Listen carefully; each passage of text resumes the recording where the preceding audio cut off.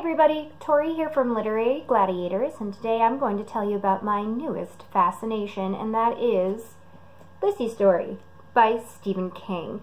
Uh, this book was published in the early 2000s, and I'm fairly certain I remember reading that this book is uh, one of Stephen King's favorite books that he's ever uh, penned.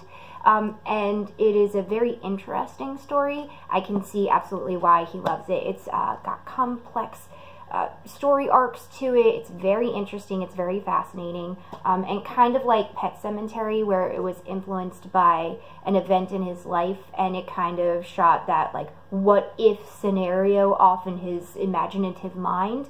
Uh, supposedly, what happened was he was hit by a car um, I think in Maine or wherever he was living at the time. And while he was hospitalized, his wife decided, oh, I'm going to reorganize his study. So when he finally got out of the hospital, he saw all of his belongings and his works and his current publications and everything that was in his study in various states of uh, being packed up and in boxes and wrapped up. And he had that thought of, okay, so this is what it's going to look like when I die, because it's Stephen King and that's where he would go. Um, additionally, the story also involves uh, Lisey's sisters, because I believe she's one of five in the story.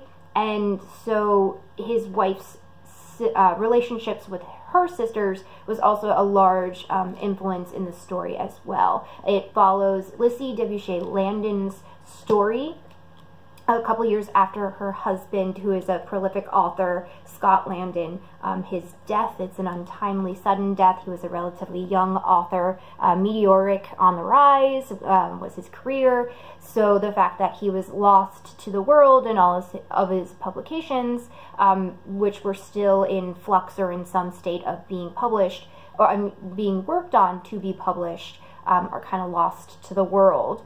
So it's her story initially starting out with having to deal with that loss, um, even after all these years, finally coming to grips with having to clean out his study. So that's where that story um, is sparked and moves forward.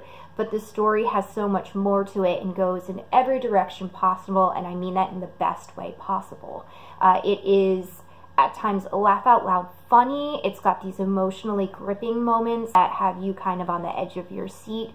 Um, there are probably few and far between books that I've read where, while it was emotionally gripping, this uh, just psychologically intense, where you're sitting there kind of like white knuckling the book because you're trying to figure out what's going to happen next. You know, it's a real page turner. Um, the story itself is very uh, complex in the way that it's told because you have the main narrative, you have the main story, and then you'll have these moments where she'll find something because her husband, due to these childhood um, memories that he has with his uh, his brother, um, which is revealed that's in a very emotional um, background as well. Through all of these different layers of an object that will spark some sort of memory, and that memory will lead her down this winding path in some sort of story that he told, and everything kind of gets connected at the very end.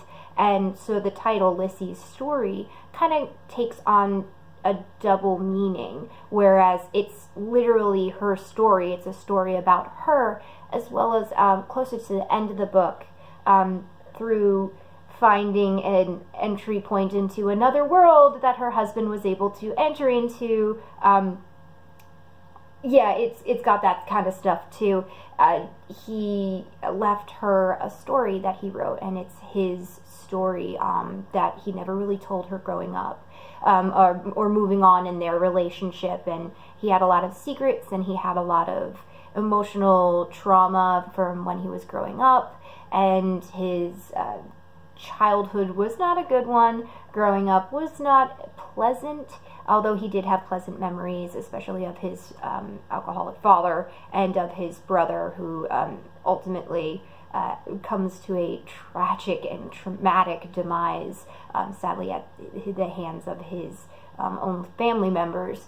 I don't want to give too much away, but um, if you have not read this book, do yourself a favor, find some time to sit down and read it because my goodness, it is a gripping story. Um, it's written wonderfully. One of the interesting things that I will have to say, which uh, turned out at the beginning to be kind of almost confusing. And then later on, closer to the end of the story, absolutely uh, just a beautiful facet of the storytelling itself is the use of intimate la language. And when I say intimate language, I mean there's different types of vocabulary that we use throughout our interactions in the world. So you would talk to your boss in a totally different demeanor and way than you would your mother or your significant other or your best friend.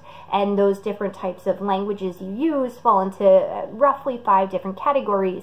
Um, the most endearing one is usually intimate.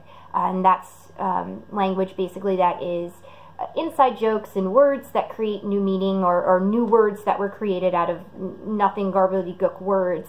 Um, and the book kind of introduces you um, slowly into this world of words that Scott and Lisey had with one another that were amassed over years of living with one another from their families.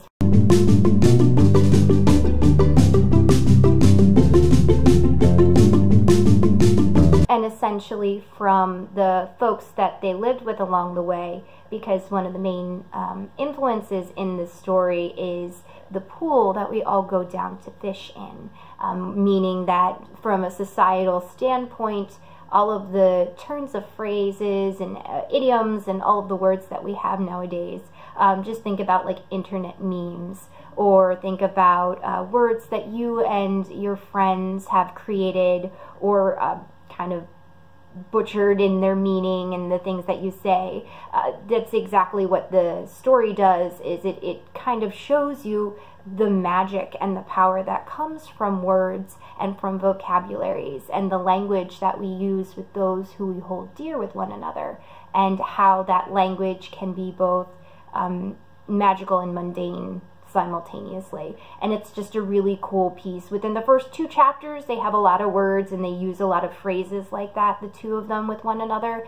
And at first, it's very confusing because you're like, wait, what are you trying to say? What do you mean by that? But, um, you know, very early on and, and throughout the rest of the book, it becomes very apparent. Uh, one of the other ways that it's used, um, there's some characters that end up stalking Scott Landon because he has some very weird out there uh, things that he's written, and it kind of resonates with a certain group of folks um, that uh, uh at two different instances attempt harm on both Scott and Lisey at various points in the book. Um, and it's another example of how language can be both detrimental and um, explosive and uh, it's just wonderfully psychologically um, a really good thriller. It has anything and everything you'd want in a book, uh, from petty little arguments between siblings to, um, if you're into this sort of thing, physical torture. I don't know that part was intense and hard to get through, but still a great read overall. Uh, it takes some wild turns. It is a wonderfully gripping, engaging book. It is a convoluted book. Um, so it is not the type of book that you uh, read on the go and like half-heartedly. It is the type of book that is like a deep-seated, on the couch, you're in for the night sort of read. Um, with that being said, though, I strongly suggest you checking it out. Um, I have the hard copper, hardcover um, version of it, and it is uh, just probably one of my favorite books. It, it's now officially made me a Stephen King fan. He's probably one of my favorite authors because of it now. Um, so I believe that's about all I have to say on this book. I strongly suggest you going to find it and find um, a copy of it for yourselves to read. If you have read it, I would absolutely love to hear what you have to say about it in the comments below. As always, I love hearing from you guys. I think it's really cool when you guys interact with one of us, uh, with any of us. Um, it, it just shows that we are connecting with you guys and doing the stuff that you like to hear and you like to uh, read as well. Uh, so that about does it. I'm Tori. You're awesome. And remember to keep reading, guys, because if it's the written work, it's game. Bye.